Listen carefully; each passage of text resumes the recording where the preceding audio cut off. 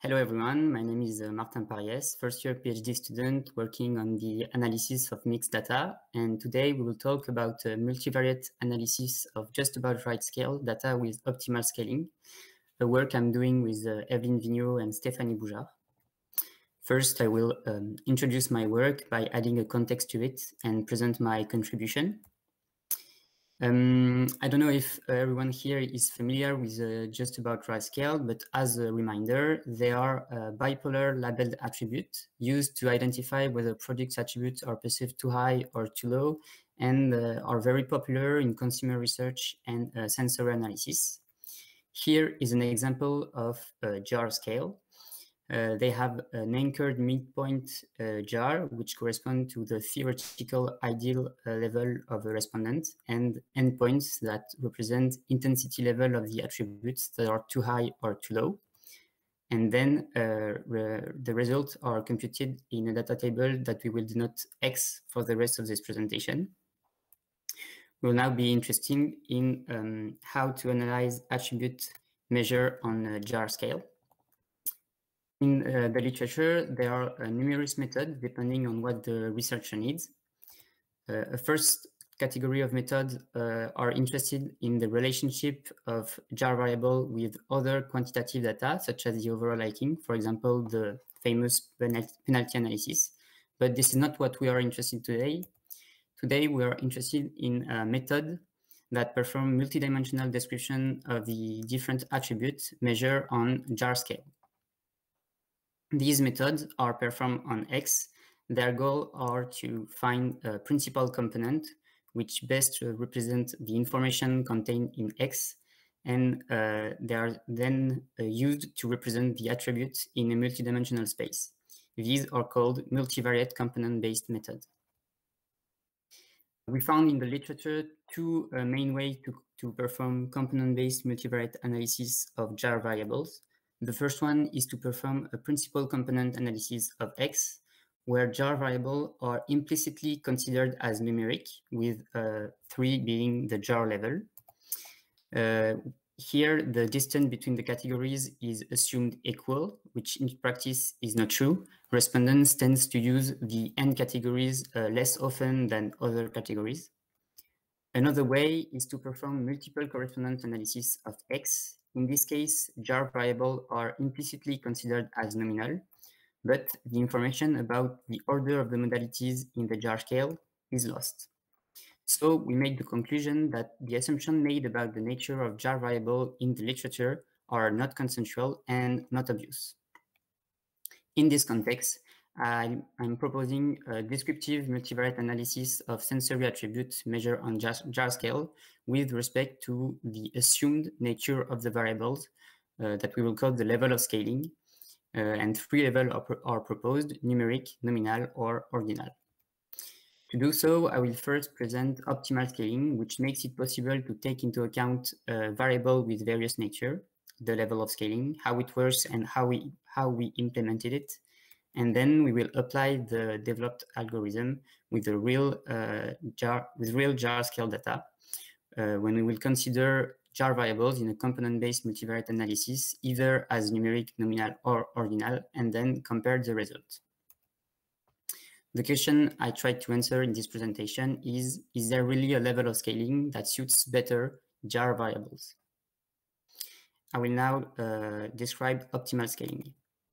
Bock defined optimal scaling as all the approach which assign numerical values to categories. And in 1981, Young introduced a general class of algorithm called alternating least square algorithm with optimal scaling, where um, each variable has a level of scaling and each variable is quantified in terms of uh, this level of scaling that adapts to the nature of the variable. Notable methods are HOMALS, which is an homogeneity analysis method, and PRINCALS, which is a nonlinear principal component analysis. In this slide, I will explain how Alsos algorithm works. Uh, every Alsos algorithm begins with the initialization of T, the component, followed by a first step of optimal scaling, where variables are quantified conditional to fix T. Each variable uh, x, xg uh, will be quantified to x tilde g, uh, thanks to quantification function, which are regression of each variable on T, and then concatenated in the matrix X tilde, uh, which contain the optimally quantified variable. Then X tilde is sent to the second step, the model estimation, where T is calculated conditional to fix X tilde, and T is sent back to the first step. These two steps alternates until the convergence of the least square minimization criterion of homogeneity analysis. The ALSOS algorithm we implemented uh, with uh, R, its aim is to seek for three matrices, X tilde containing the optimally quantified variable, T the principal component, and A the loadings. And we also added a restriction of rank one to quantification functions in order to obtain simple quantification of each, each variable. It is now time to apply the uh, algorithm to a real uh, jar scale data. The data we used are from the thesis of Alexiane Luc that she just presented to you. In this experiment, 62 consumers were asked to rate eight products, which were which are French cheese, on uh, 10 attributes. The objective of this application is to first perform a component-based multivariate analysis on these 10 attributes as either numeric, nominal, or ordinal, and then compare the results based on first the transformation of the variable, the explained inertia, and the interpretability of the multidimensional factorial representation. In this slide, I explain the level of scaling of the jar scale. If it is considered as numeric, uh, it is recoded with real numbers that can be added or subtracted, uh, three being the jar level. If it is considered as nominal, each label corresponds to a category.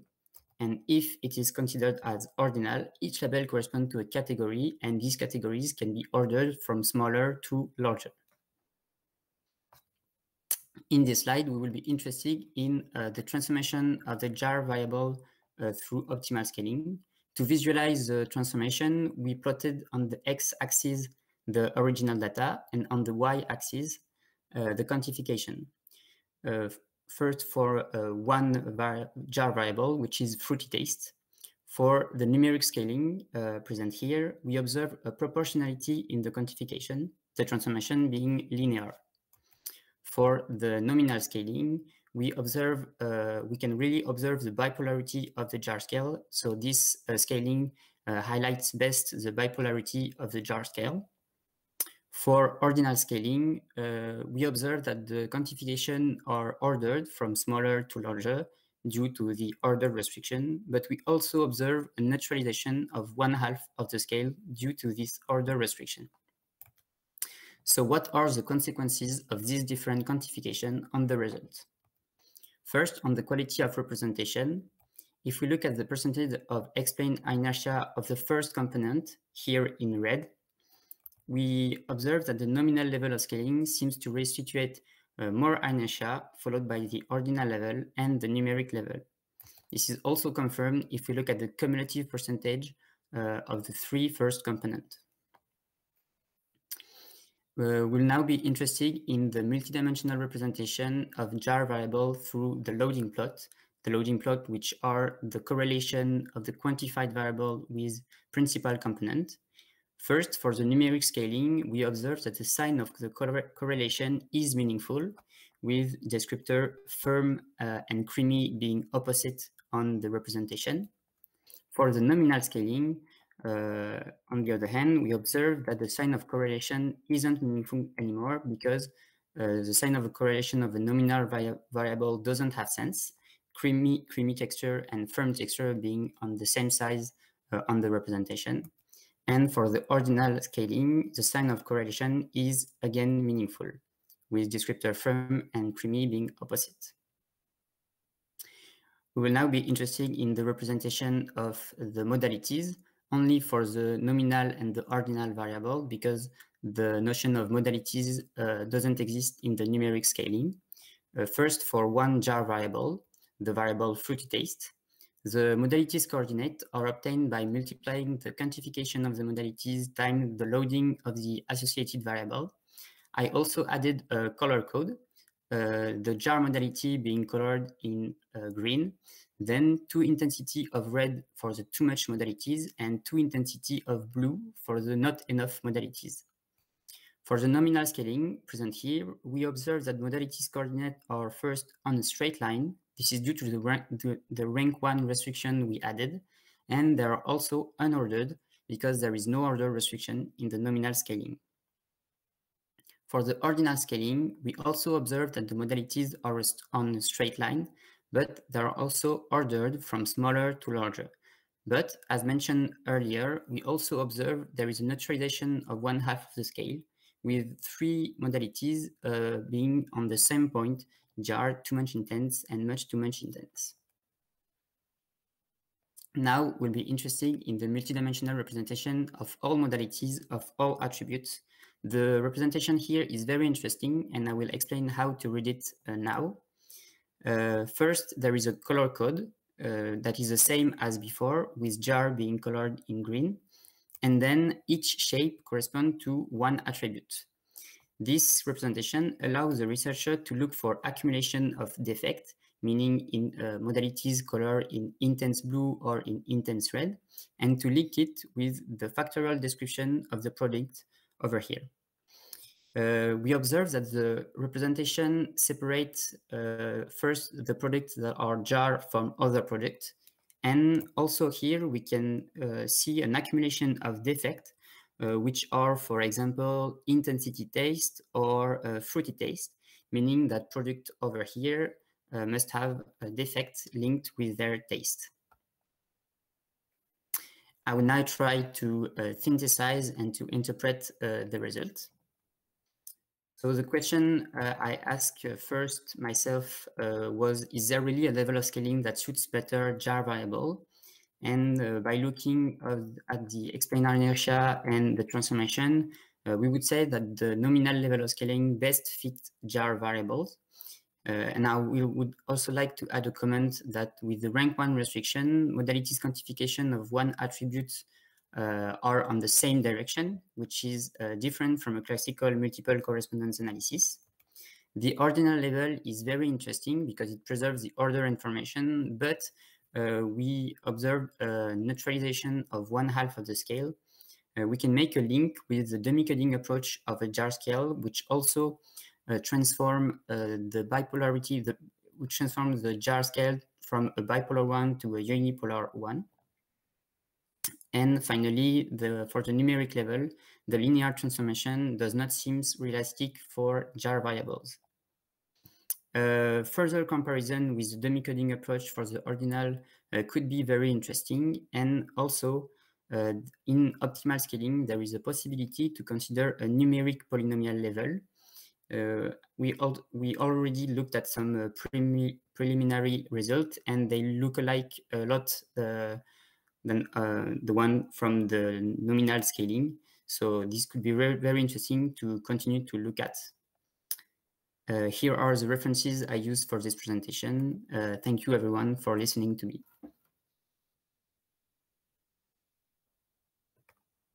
Okay, th thank you, stop, Martin. I will stop the sharing of my screen. Yeah, maybe and, you can uh, yes, you can. Yeah, I've got a question maybe on Yeah, uh, the, the slide uh, 18. Yes, of start. course. Uh, I will don't share. hesitate to prepare your question, everyone. I will share my Mm. screen back. So 18. Yes, 18 in the result. I'm a little bit surprised on uh, the fact that the too much and the too less uh, modalities are very close to each other. How do how can we explain that? Um, here and here. Yes, uh, for um, example, for yes, the uh, in the right uh, down part of the graph. um, with- they they they correspond to defects of the products. So Yes, they- they- this defect for very different reason. It's defect because too less. And yes, um, may, maybe there is a confusion uh, from the the, the consumer uh, about the intensity, um, or um, yeah, that's a good good question. and because it's a very um, surprising result uh, in jar uh, domain, we can say, uh, because sometimes one product have got uh, one defect, but it's uh, it's very rare to, rare to have uh, two defect on two different meanings, too much and too less. Um, yeah. Uh, uh, I don't really have an answer right I, now. I don't know this product, so maybe it's a specific product. I'm, I'm going to write it down and and. Um, Emmental and Comté uh, maybe have, are very uh, splitted the population the samples into uh, population. Yep. Okay. And just another question. Um, Mm-hmm. Do you develop the uh, the, the function also uh, algorithm, or uh, do you use the No, of course I, I use the the existing one? Um, we were there is a lot of uh, Alsos algorithm existing in the literature, um, but we uh, we used a lot of bib bibliography to uh, program our own. Okay, so you developed uh, your own. uh, Yeah, but but uh, by, by using a lot of bibliography Mm. uh, available uh, for everyone. Okay, thank you very much, Martin. Any other question? We've got two minutes left uh, for that, so uh, help yourself.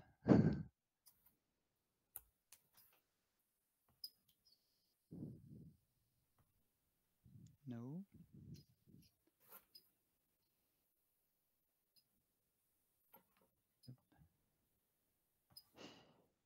No. Okay. Ah, Nicolas?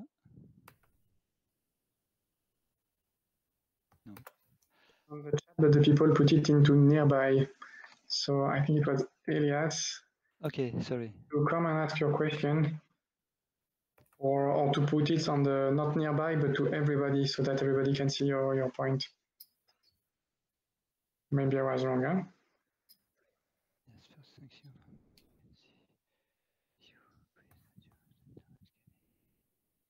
Okay.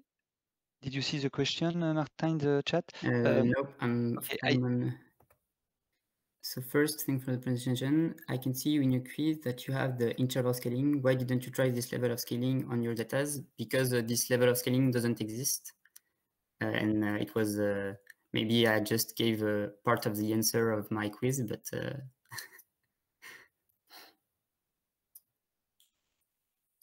Okay. I, I'm trying to answer the question, which was why didn't I use the interval scaling?